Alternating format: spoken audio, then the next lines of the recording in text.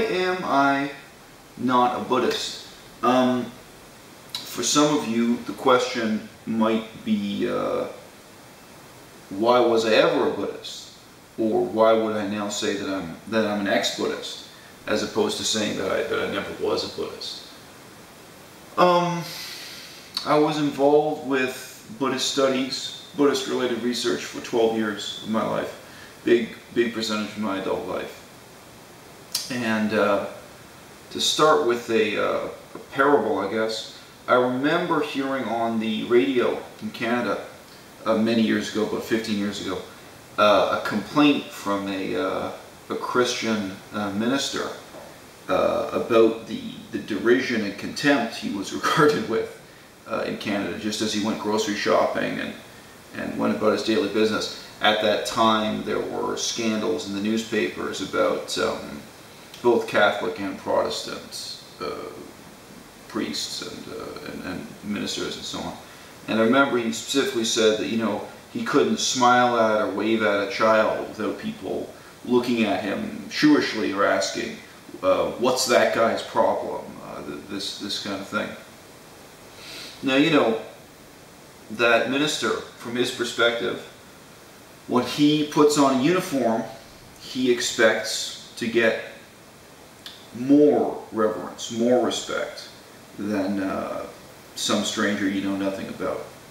He thinks he's clothing himself with something that, that raises his status. And I would guess many medical doctors have the same expectation when they put on a lab coat with a name tag, and uh, many other professions as well. Even though we know uh, rationally a medical doctor can be a terrible person, um, obviously a priest can be a terrible person, so on but it doesn't enter into the, uh, the priest's mind that when you live in a country where the vast majority of people are not Christian, you're clothing yourself in the legacy of genocide, slavery, of racism within the church, and of course, you know, recent sexual abuse scandals. Um, you're clothing yourself in something that's odious and that's only justified by you know, an appeal to supernatural things uh, that fewer and fewer people now believe in. However, the other uh, meditation that comes out of that is the fact that many people who, when they meet that priest, uh, are suspicious or apprehensive, who don't have a positive response to seeing the man in uniform, many of those people still have a positive idea of Christianity, still have some kind of religious connection to uh, an abstract God, or, or still pray, or still still want to believe in something. Um, you know, with Buddhism, I had to recognize at a certain point that when I met someone who was a Buddhist monk, I, I didn't assume good things about them anymore. On the contrary, I had so much experience that um, when I met someone who was wearing the robes, instead you'd have apprehensions and, uh, and very negative expectations and would wonder, you know, what's his story. Once in a while you meet a monk and you find out who they are and you find out there are some things you can respect about them. However, uh, when you know the state of Buddhist monasticism in the 21st century, you know that um, if you meet a complete stranger on the street, dressed in a nondescript way, you may expect the best, you may expect the worst. You, you have no expectations either way compared to the rest of humanity. Um, but yeah, when you meet someone who is a who is a Buddhist monk, what they're clothed in, for me, as someone who became an expert on Buddhism in 12 years, is actually very, very negative. So as soon as I could recognize that, you know, I can recognize that not only not only is it the case that I'm not a Buddhist, but that I don't uh, I don't want to be a Buddhist. I don't want to be called or referred to as a Buddhist. Uh, you can look up an interview I gave um, to uh, to a magazine in Hong Kong, a Buddhist magazine, in which I do refer to myself as Buddhist. I'll provide the link uh, at the bottom of this YouTube video. so I, you know, I have called myself a Buddhist in the past, and I can remember uh, other people trying to denounce me by claiming that I was not a Buddhist, and I would be able to turn around and say, look, this is what I've accomplished in the past years. This is what I've devoted my life to. What grounds do you have for saying I'm not a Buddhist? When very often people saying this, they themselves had no um, no scholarly knowledge of Buddhism. They had they had not done anything. They had not accomplished anything in their life that proved any kind of uh, commitment to or interest in uh, the religion. Now, uh, Buddhism, perhaps well more than some religions, it's entirely possible to be a Buddhist and uh, not believe in anything supernatural. It is true, I never believed in magic. I never believed that when you die, you went to meet uh, King Yama in hell. And it's the same King Yama in the ancient Pali Canon that you see in the modern cartoon uh, Dragon Ball Z. It's the same mythology different artists have interpreted in different ways, of course, over the over the centuries. No, uh, in that sense, I, I never did. But what I believed in that was more compelling to me was that my engagement with Buddhism was part of me making a positive difference in the world. And I'd like to think that's what motivates someone to be a scholar of uh, Socrates or Thucydides or any other ancient philosopher that may not be considered uh, religious today, or that may, that may be a, a, religious philosopher. And what made Theravada Buddhism so dynamic was the mix of humanitarian work and field research that it offered me. That there was the modern disaster of places like uh, Cambodia and Laos, the intersection of, um, of uh, political and philosophical uh, concerns ancient history and modern history, and indeed ancient languages and modern languages, um, all, uh, all mixed up at the same point. But there's a, um, there's a very sad sequel to um, the first image I used. The fact that when I meet a Buddhist monk, I don't consider them a good person, I don't have positive expectations, that I'm apprehensive knowing what I know, and, and many other Buddhists sadly are, are the same way. Um, and that is that in 12 years, I met many of the leading figures in the field face to face, and there are many others whose work I've read and who have talked to me by email, being the 21st century. And um, there's not a single scholar in the game that I respect, uh, not even one. And uh, the level of intellectual dishonesty and uh, fraud, outright fraud, that exists in the academic study of Buddhism that was something that continued to disappoint me no matter how low my expectations were.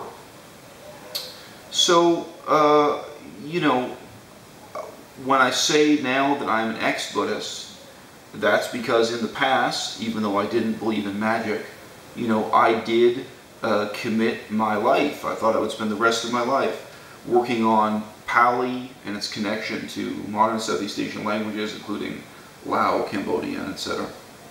And um, you know, I thought I would I would dedicate my life partly to dragging some of the most interesting philosophy out of those ancient texts and making it available to the public, and also being involved in what which I was involved in, being involved in the uh, the humanitarian uh, concerns as those countries variously emerge from post-war, post-communist uh, disasters and undergo a period of, of cultural and economic transformation. Um,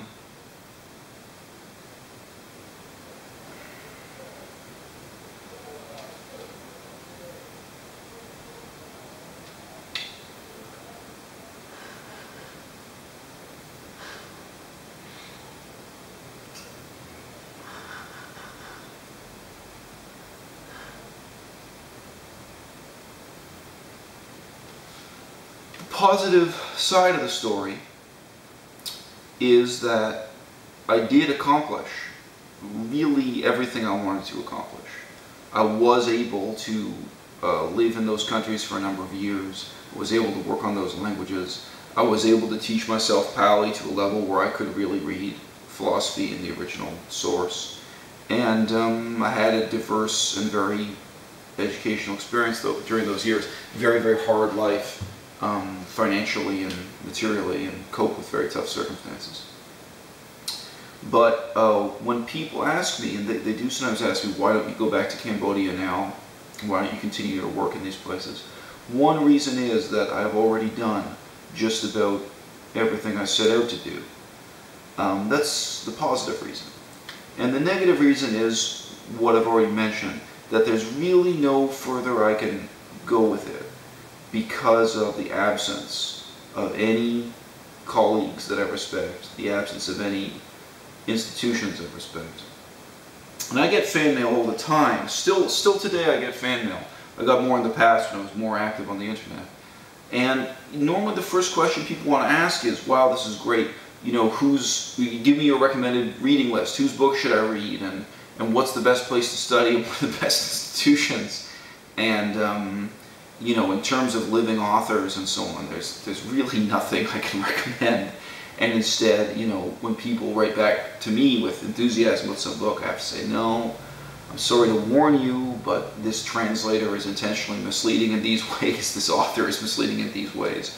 It's really, uh, it's really reached a remarkably low ebb in, in 2014. So, you know, that's, that's the negative side of it. I mean, uh, I've been all over the world with this, uh, with this Buddhist thing. I spoke once with a monk who I have some respect for, to give a, a positive example of a monk. He was a guy who um, was dragged out of one country after another as a refugee. And uh, his uh, temple was burned down by Muslims. He was attacked and beaten by Muslims. His followers were too. He was a victim of, of uh, anti-Buddhist Muslim violence, which is a huge issue that you can't read about much in the mainstream press, but that's a story of a thousand years. It's still ongoing today. And um, you know, I remember he and I had a long conversation. He was very honest with me. Many monks are, because I, as a as a man with a shaved head who could read Pali and who really knew the the texts, I had a kind of intermediary status halfway halfway between monk and layperson. A lot of them were very honest with me, and um, at the end of the conversation, he sort of um, turned off the honesty. It seemed to me, and for a second just said, "Well, you know, everything in Buddhism is getting better and better now." you know, it's it's flourishing here in the West, and uh, you know, it's flourishing in various countries in Asia. And that was such a striking contrast to the conversation he and I had been having up until that moment. We were both talking about our experiences in Southeast Asia and around the world. And um, I just said to him, you know, I'm, I'm sorry, but you know, I don't believe you. I, I don't think even you believe that. I think you know that Buddhism is collapsing in China. Buddhism is collapsing in Tibet.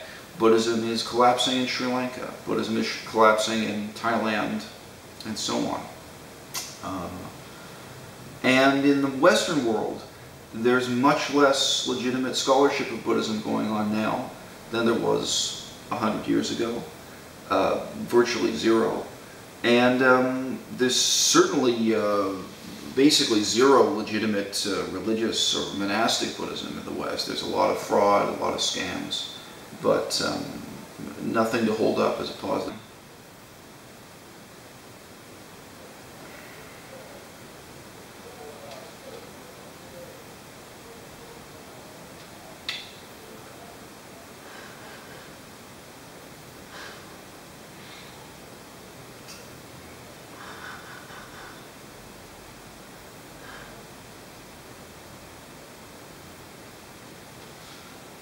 Positive side of the story is that I did accomplish really everything I wanted to accomplish. I was able to uh, live in those countries for a number of years, I was able to work on those languages, I was able to teach myself Pali to a level where I could really read philosophy in the original source.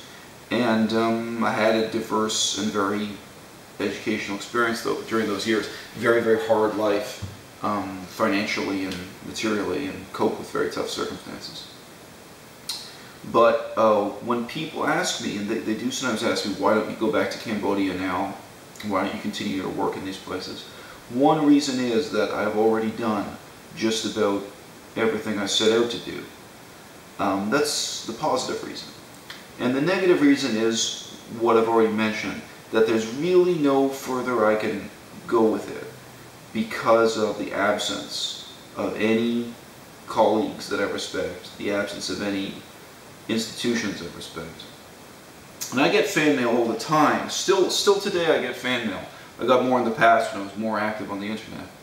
And normally the first question people want to ask is, wow, this is great. You know, who's, give me your recommended reading list. Whose book should I read? And, and what's the best place to study? What are the best institutions? And, um, you know, in terms of living authors and so on, there's, there's really nothing I can recommend.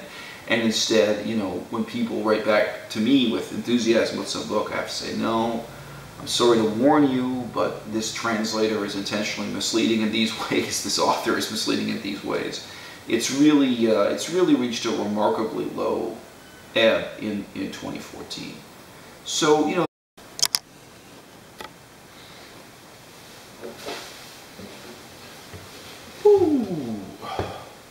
why am I not a Buddhist? Um, for some of you, the question might be, uh, why was I ever a Buddhist? Or why would I now say that I'm, that I'm an ex-Buddhist, as opposed to saying that I, that I never was a Buddhist? Um, I was involved with Buddhist studies, Buddhist related research for 12 years of my life. Big, big percentage of my adult life. And uh, to start with a, uh, a parable, I guess, I remember hearing on the radio in Canada uh, many years ago, about 15 years ago, uh, a complaint from a, uh, a Christian uh, minister uh, about the, the derision and contempt he was regarded with in Canada, just as he went grocery shopping and, and went about his daily business. At that time, there were scandals in the newspapers about um, both Catholic and Protestant priests and, uh, and, and, ministers and so on. And I remember he specifically said that, you know, he couldn't smile at or wave at a child without people looking at him shewishly or asking, uh, what's that guy's problem? Uh, this, this kind of thing. Now, you know, that minister, from his perspective, when he puts on a uniform, he expects to get more reverence, more respect than uh, some stranger you know nothing about. He thinks he's clothing himself with something that, that raises his status. And I would guess many medical doctors have the same expectation when they put on a lab coat with a name tag, and uh, many other professions as well. Even though we know uh, rationally a medical doctor can be a terrible person, um, obviously a priest can be a terrible person, and so on. But it doesn't enter into the, uh, the priest's mind that when you live in a country, humanitarian work and field research that it offered me, that there was the modern disaster of places like uh, Cambodia and Laos, the intersection of, um, of uh, political and philosophical uh, concerns, ancient history and modern history, and indeed ancient languages and modern languages. Um, all, uh, all mixed up at the same point. But there's a, um, there's a very sad sequel to um, the first image I used. The fact that when I meet a Buddhist monk, I don't consider them a good person, I don't have positive expectations, that I'm apprehensive knowing what I know, and, and many other Buddhists sadly are, are the same way. Um, and that is that in 12 years, I met many of the leading figures in the field face to face, and there are many others whose work I've read and who have talked to me by email, this being the 21st century. And um, there's not a single scholar in the game that I respect, uh, not even one. And uh, the level of intellectual dishonesty and uh, fraud, outright fraud, that exists in the academic study of Buddhism, that was something that continued to disappoint me no matter how low my expectations were. So, uh, you know, when I say now that I'm an ex-Buddhist, that's because in the past, even though I didn't believe in magic, you know, I did uh, commit my life. I thought I would spend the rest of my life working on Pali and its connection to modern Southeast Asian languages, including Lao, Cambodia, etc. And um, you know, I thought I would I would dedicate my life partly to dragging some of the most interesting philosophy out of those ancient texts and making it available to the public, and also being involved in what which I was involved in, being involved in the uh, the humanitarian uh, concerns as those countries variously emerge from post-war, post-communist uh, disasters and undergo a period of, of cultural and economic transformation.